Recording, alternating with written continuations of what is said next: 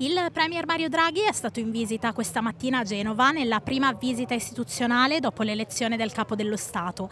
Ha incontrato a Palazzo San Giorgio al Porto Antico il sindaco Marco Bucci, il presidente di regione Giovanni Toti e il presidente dell'autorità portuale Signorini.